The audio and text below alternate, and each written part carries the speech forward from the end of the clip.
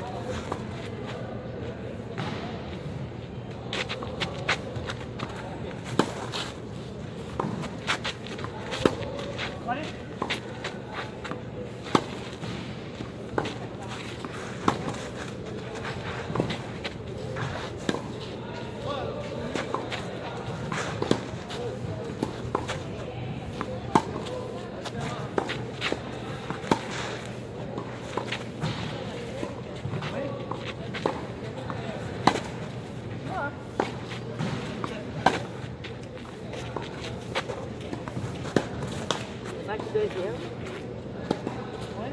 you?